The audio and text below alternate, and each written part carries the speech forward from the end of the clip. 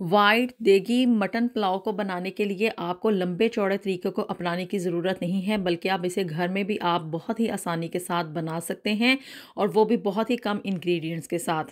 बिसमीम वालेकुम एवरीवन। आज आपके साथ देगी यखनी पुलाव बनाने की रेसिपी जो है उसको मैं शेयर करने जा रही हूँ। यहाँ पे जो है वो पहले हम यखनी बनाने के लिए गोश्त ले लेंगे।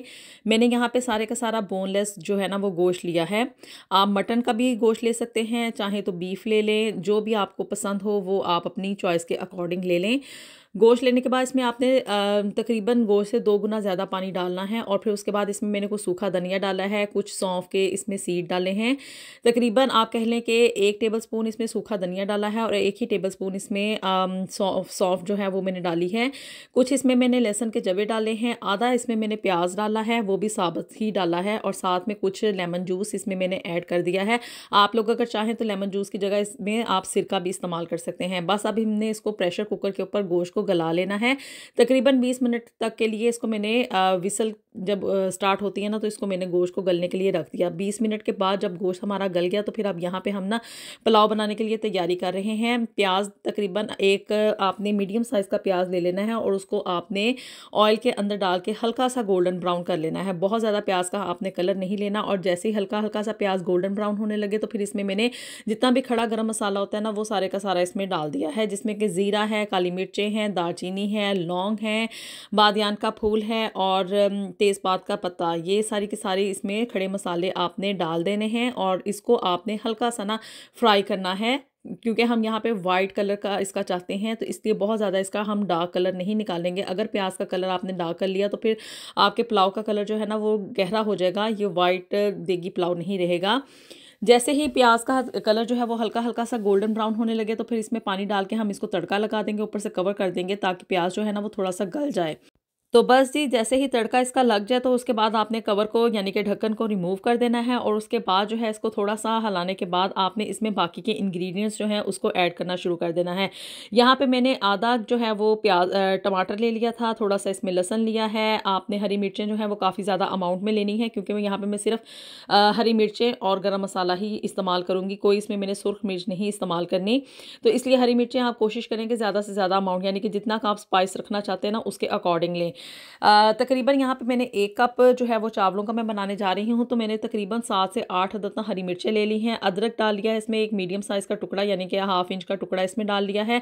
इन सब चीज़ों को अच्छे तरीके से ग्रेंड करने के बाद, ये सारे के सारे इंग्रेडिएंट्स इसमें डालने के बाद आपने इसको भून लेना है। अच्छे तरीके से भूनना है ताकि लहसन की जो स्मेल वगैरह है ना वो ख़त्म हो जाए। और उसके बाद ये जो गोश्त हमने गला लिया था ना यखनी की फॉर्म में, इसको निकाल निकाल के आपने बोटियाँ इसकी सेपरेट करके इसमें प्याज में डालनी शुरू कर देनी है। और ये देखिए, यहाँ पे जो हमने लहसन डाला था ना, उसको मैं अच्छे तरीके से निचोड़ रही हूँ ताकि लहसन जो है ना, वो अच्छे तरीके से घुल मिल के जाए। ये ना हो कि वैसे ही जो है ना, वो लहसन गली हुई फॉर्म में गुटलियों के फॉर्म में चला जाए। तो जी, यहाँ पे बस गोश्त आपने इसके अंदर डाल लेना है और जो प्याज हमने यखनी के अंदर डाला था ना, उस प्याज को आपने शामिल नहीं करना, सिर्फ़ लहसन को आपने इसमें शामिल करना है। और जितने भी खड़े इसमें आपने मसाले डाले थे, जैसे कि सौंफ और सूखा धनिया हमने डाला था, वो हम इसमें बिल्कुल नहीं डालेंगे क्योंकि हमने यखनी को जो है ना, वो आपने इसको स्ट्रेन कर लेना है, स्ट्रेन कर लेना है, यानी कि आपने इसको छान लेना है और फिर उसके बाद आप जो है ना, इस यखनी के पानी को इस पुलाव में हम इस्तेमाल करेंगे। गोश्त को इसमें डालने के बाद यहाँ पे मैंने सूखा धनिया और थोड़ी सी सौंफ लेके ना उसको कूट लिया है। मोटा मोटा सा आपने इसे कूटना है और फिर उसके बाद इसको इसी मसाले के अंदर हम डाल के अच्छे तरीके से भूनेंगे। थोड़ा सा इसमें यानी कि दो टेबल स्पून के करीब मैंने दही ले लिया है और दही भी आपने शुरू में ही यानी कि जब हम इस गोश्त को भून रहे हैं ना, उस वक्त आपने इसमें डाल लेना है ताकि दही अच्छे तरीके से भून जाए, उसकी भुनाई अच्छे तरीके से हो जाए। यानी कि ये सारे का सारा जो देगी पुलाव है ना, उसकी रेसिपी ही ये है कि इसको अच्छे तरीके तरीके से आपने भूनना है। गोश्त को जितना ज़्यादा आप भूनेंगे और इसके अंदर स्पाइसेस ऐड करते जाएँगे तो उतना ही ज़्यादा इसका टेस्ट जो है ना वो डेवलप होना शुरू हो जाएगा। अच्छे तरीके से इसको भूनना है ताकि दही का भी पानी और टमाटर का भी पानी सब कुछ जो है ना वो ड्राई हो जाए और साथ ही साथ इसमें मैंने थोड़ा सा इसमें नमक डाल लिया है। हसब जायका आप इसमें नमक डालेंगे। एक कप पानी, एक कप चावलों के अंदर जो है ना वो मैंने एक टेबल स्पून नमक डाला है। आप अपने टेस्ट के अकॉर्डिंग इसमें सॉल्ट ऐड कर सकते हैं। इसके बाद हाफ़ टेबल स्पून जो है वो इसमें मैंने पिसा हुआ जो गरम मसाला होता है ना, वो इसमें ऐड किया है।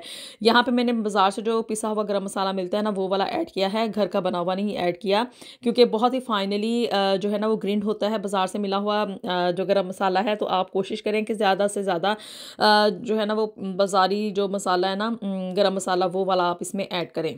बस जी, अब इन सब चीज़ों को हम अच्छे तरीके से भूनेंगे और उस वक्त तक भूनेंगे जब तक ये जितना भी पानी इस मसाले के अंदर है ना, यानी कि गोश्त की भुनाई के दौरान, ये सारे का सारा पानी हमने ड्राई करना है। दही और टमाटर दोनों का पानी जो है ना, वो अच्छे तरीके से ड्राई होना चाहिए और गोश्त जो है ना, वो हल्का हल्का सा आपने इसमें फ्राई होना चाहिए। यानी कि जो ऑयल इसमें डाला था ना, उसमें थोड़ा सा बस हल्का सा फ्राई हो, ऐसे लगे कि गोश्त की जो कलर है ना, थोड़ा सा रंगत इसकी चेंज होना शुरू हो जाए। उसके बाद इसमें पानी जो है, वो आपने डबल अमाउंट में डालना है। जितने आपने चावल लिए हैं ना, उससे डबल अमाउंट में हम पानी लेंगे। एक कप चावलों के अंदर जो है वो मैंने दो कप पानी के लिए हैं। नमक आप लोग अपने टेस्ट कर लें। यहाँ पे इस पॉइंट पे आके अगर आपको नमक या मिर्च थोड़ी सी हल्की लगे तो गर्म मसाला इसमें और ऐड कर लें। और अगर चाहें तो नमक भी आप इसमें ऐड कर सकते हैं। उसके साथ ही हमने इसमें चावल ऐड कर देने हैं। इसको ऊपर से हमने कवर कर देना है चावलों को और इसका पानी जो है ना, उसको हमने ड्राई करना है। कवर करने का पर्पज़ सिर्फ़ और सिर्फ़ ये होता है कि एक तो इसके अंदर जो खड़े गर्म मसाला जात हमने इसमें ऐड किए हैं ना, उनकी खुशबू अच्छे तरीके से चावलों के अंदर रच बस जाए। और दूसरा ये होता है कि चावल अच्छे तरीके से ना गल जाते हैं। जैसे ही ये पानी जो है वो एक कन्नी रह जाए, यानी कि चावलों के अंदर एक कन्नी पानी का रह जाए तो फिर उसके बाद आपने इसको दम लगा देना है चावलों को। थोड़ी सी इसमें मैंने हरी मिर्चें साबत फॉर्म में ऐड कर ली हैं। अगर आप लोग चाहें तो साबत, सुरख मिर्चें जो होती हैं ना ड्राई हुई फॉर्म में, वो भी आप इसमें डाल सकते हैं, वो भी बहुत ही अच्छा कलर इसमें देती हैं। थोड़ा थोड़ा सा बस चावलों को हलाएँगे, नीचे इसमें थोड़ा सा पानी भी है, क्योंकि अब हमने चावलों को दम लगाना है ढक्कन को अच्छे तरीके से आप कवर कर लें, चाहे तो किसी रुमाल के साथ कवर कर लें, नहीं तो एलुमिनियम फॉयल के साथ कवर कर लें, और इसको आपने पंद्रह मिनट के लिए ना दम लगा देना है। बिल्कुल इसको एयर टाइट करके, और इसका पर्पज़ सिर्फ़ और सिर्फ़ ये होता है कि चावलों में जो थोड़ा सा कच्चापन रह गया ना, वो ख़त्म हो जाए। और ये जी पंद्रह मिनट के बाद देखिए हमारे चावल जो है ना, यानी कि हमारा जो देगी पुलाव है, वो अच्छे तरीके से बनकर तैयार हो चुका है। एक एक दाना जो है वो चावलों का खिला खिला सा है और खुशबू भी बहुत ही मज़ेदार किस्म की आ रही है। आप लोग इस रेसिपी को लाजमी ट्राई करें, बहुत कम इंग्रेडिएंट्स के साथ और बहुत ही कम टाइम में ये जो है ना, देगी, मटन पुलाव बन के तैयार हो जाता है। और जी रेसिपी पसंद आई हो तो चैनल को लाजमी सब्सक्राइब कर दें, वीडियो को लाइक कर दे शेयर कर दें और जो कमेंट कर दें, हमें अपनी दुआ में याद रखिएगा। मिलते हैं आपसे नेक्स्ट वीडियो में with something new and something very interesting. Until then, Allah Hafiz.